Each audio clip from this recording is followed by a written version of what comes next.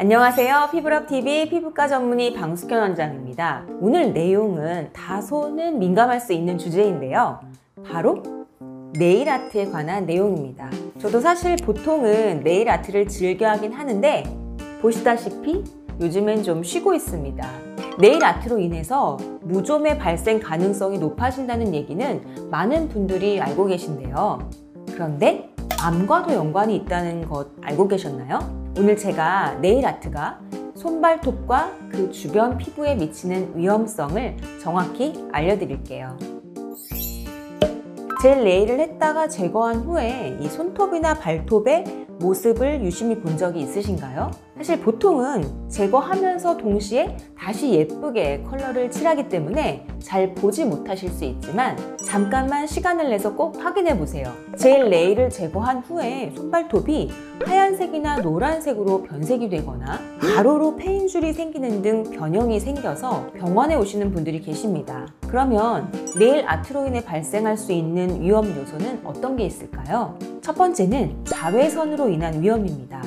특히 제일레일의 경우 아크릴 수지를 바르고 자외선을 이용해서 딱딱하게 굳게 하는 경화 작용을 이용하는데요. 근데 문제는 이 자외선을 피부에 쬐게 되면 자외선이 세포의 유전자 변이를 일으키게 되고 세포에는 이 유전자 변이가 점점 쌓이게 됩니다. 그 변이가 특정암을 발생시키는 유전자나 혹은 암을 억제하는 유전자에 영향을 미치게 되었을 때 암 발생의 위험이 증가하게 되는 거죠.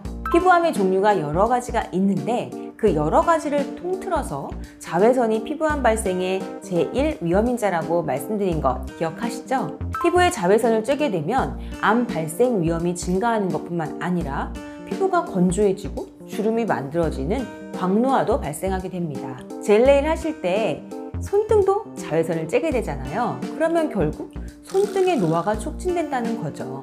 하지만 최근에는 이러한 위험이 있는 자외선 램프가 아닌 LED 램프를 이용하는 곳도 많기 때문에 네일 아트를 하실 때 LED 램프를 사용하는지 꼭 체크해 주세요.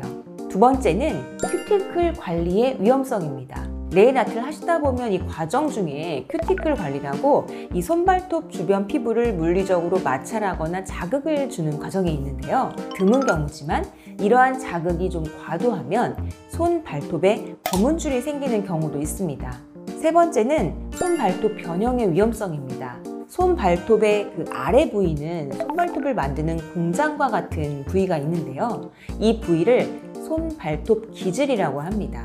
그 부위에 물리적인 자극이나 마찰이 반복되고 심하게 되면 이 손발톱을 만들어내는 과정에 문제가 생기면서 결국은 손발톱의 모양의 변형이 생길 수 있습니다. 반듯하지 않고 찌글찌글하고 가로로 패인 줄이 손발톱에 만들어지게 되는 거죠.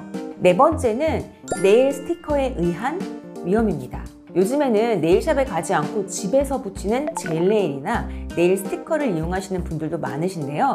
이런 경우 손 발톱 판에 붙인 젤 네일이나 네일 스티커 사이에 습한 환경이 조성이 되면서 곰팡이가 증식하기 좋은 환경이 될 수 있겠죠?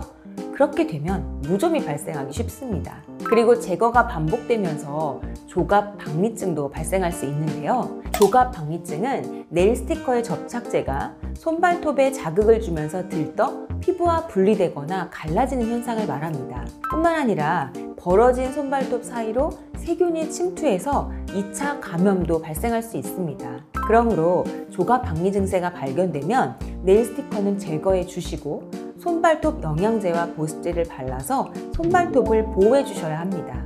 그리고 네일 스티커나 인조 손톱 접착제에 쓰이는 톨루엔, 클로로포름, 포름알데히드와 같은 물질이 피부에 닿으면 접촉 피부염도 유발할 수 있으니 주의하시는 것이 좋겠죠? 젤넬이나 스티커 제거 후 손발톱이 하얗게 되거나 노랗게 되어 있는 경우에는 꼭 병원에 내원하셔서 무좀인지 확인해 보시는 것을 추천드립니다. 오늘 준비한 내용은 여기까지입니다. 다음 주에는 더 좋은 정보로 찾아오겠습니다. 피부사랑 피부럽TV 피부과 전문의 방숙현이었습니다. 구독, 좋아요, 알림 설정